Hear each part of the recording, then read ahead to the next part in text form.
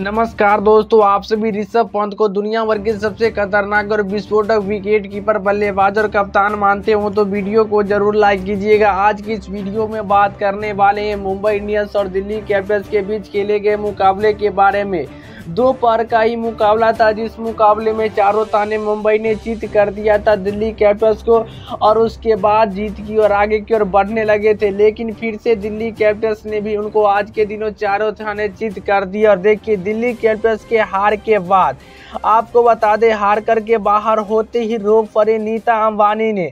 नीता अंबानी सोच रहे, इस मुकाबले में तो तिलक वर्मा चेस कर जाते, तिलक वर्मा इस मुकाबले में खेल रहे थे, जिता देते, लेकिन न जिता सके।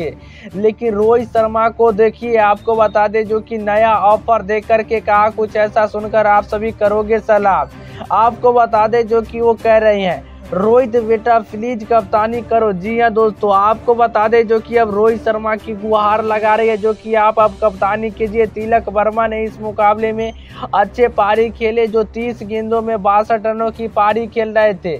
लेकिन रन आउट हो जाते, अगर रन आउट ना होते तो इस मुकाबले को पासा पलट देते। इस प्रकार ये खतरनाक बल्लेबाजी कर रहे थे। और उसके बाद जो रन आउट के कारण इस मुकाबले में दिल्ली कैपिटल जीत जाती है। और यहाँ पर ही मुंबई को मिलती है हार, लेकिन ये कमाल की रन चेस थी दो सौ अठावन रनों की, और उसमें लगभग लग रहा था चेस हो जाएगा, जिस प्रकार मुंबई की तरफ़ से बल्लेबाजी चली थी। तो चलिए दोस्तों, आई होप इज़ अगर वीडियो पसंद आए। वीडियो अच्छे लगे, ज़रूर से वीडियो को लाइक करें, और चैनल पर न हो तो चैनल को सब्सक्राइब करना बिल्कुल ना भूले। तो बाय बाय, अपना ख्याल रखिएगा।